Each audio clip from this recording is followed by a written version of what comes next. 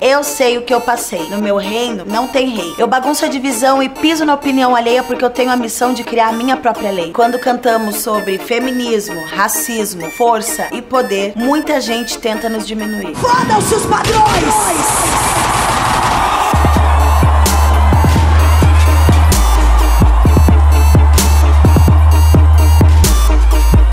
Se afogando no próprio veneno. E eu já tô cansada de quem fala de empoderar para se aproximar ou para se apropriar. Achou que eu ia desistir? Vai ter que engolir, porque eu não cheguei até aqui para não existir. O primeiro manifesto do ambulante vem aí.